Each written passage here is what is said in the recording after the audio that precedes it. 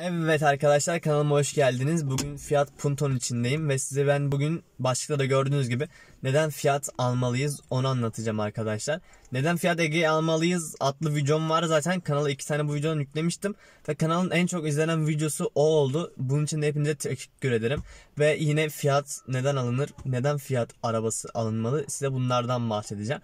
İçinde bulunduğum Punto da biliyorsunuz ki Fiat'ın aracı. Ve içinde segmentinin pek bulunmayan özellikleri var. Mesela hep beraber gelin bakalım.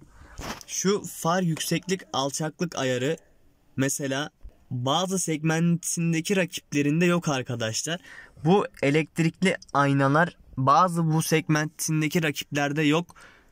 Bunun gibi özellikler biliyorsunuz segmentindeki rakiplerinde yok arkadaşlar. Ki birinci nedenimiz bu. Anlamadıysanız ben bu birinci nedenimizi anlatayım segmentindeki araçların kullanmadığı özellikleri kendi araçlarında kullanıyorlar arkadaşlar.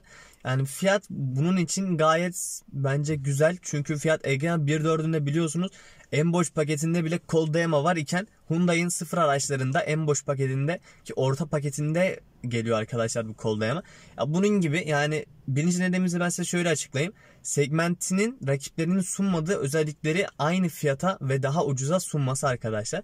İkinci nedene gelecek olursak parçasının ucuzluğu bir Peugeot'a göre fiyata göre diyecektim ki bu aracımız fiyat arkadaşlar.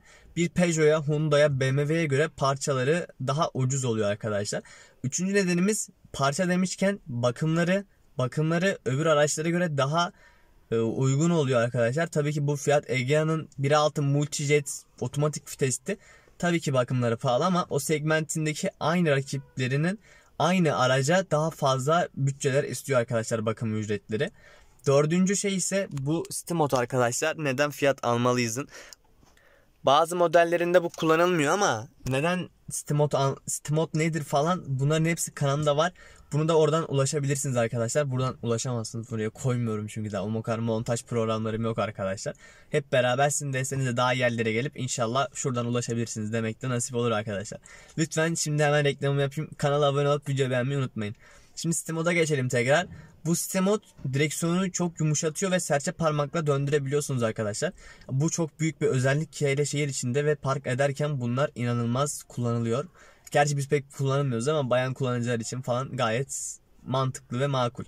Şimdi arkadaşlar 5. nedene gelecek olursak fiyat araçlar öbür rakiplerine göre daha ucuz oluyor. Ki bunun en mantıklı örneği Fiat Egea. Hep de Egea'dan örnek veriyorum ama bu sıfır araba Egea hep en ucuz sıfır araba ki en ucuzu bile ülkemizde çok pahalı.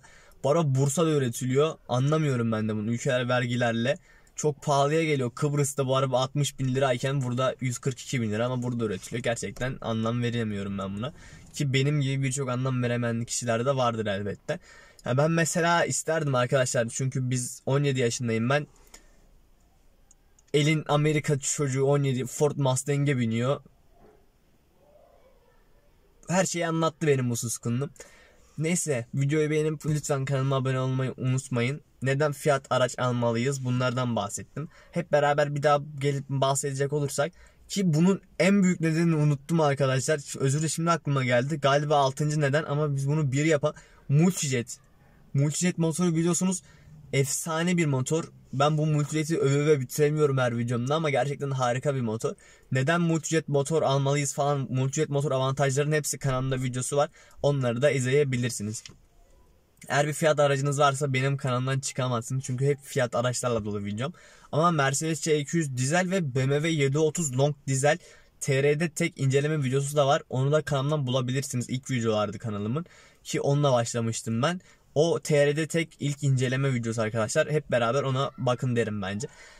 Bu kadar videom anlatacaklarım. Neden fiyat almalıyız? Hep beraber bir de baştan söyleyelim.